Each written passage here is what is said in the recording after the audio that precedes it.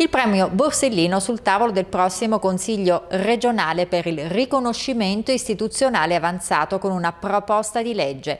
Nato nel 1992 dalla volontà di Antonino Caponnetto e di Rita Borsellino, che ne furono presidenti fino al 2001. Come ha accolto questa notizia? Beh, anche con un po' di commozione, perché ovviamente, vista la mia età, il premio Borsellino è una parte importante della mia vita, 30 anni Naturalmente gli ho dedicato tempo, gli ho dedicato molto passione, molto amore. Adesso che diventa legge regionale penso che possa dire passo il testimone ad altri. E possiamo dire che è un premio che ha fatto la storia e che resterà nella storia.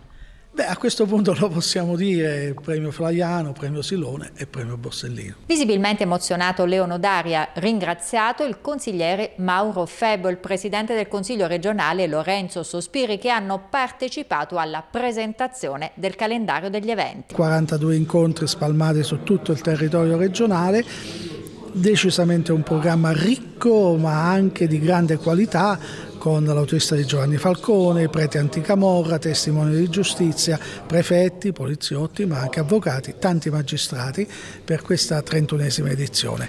Voglio ricordare che gli appuntamenti principali all'Auditorium Flaiano di Pescara saranno, grazie a Rete 8, saranno sempre in diretta oltre che tutti in streaming.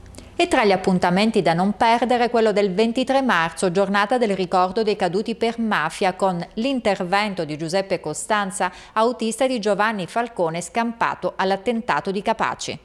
Giornata sulla Costituzione, giornata per le donne, siamo partiti il 27 di gennaio con la giornata della Shoah, ricorderemo le giornate mondiali dell'ambiente e dell'acqua, naturalmente è un programma particolarmente ricco vi prego di seguirci. Un momento unico della storia di Pescara dell'intera regione, ha rimarcato il primo cittadino Carlo Masci che oggi ha ribadito l'esigenza di parlare alle nuove generazioni. Tutte le info degli eventi sul sito premioborsellino.it.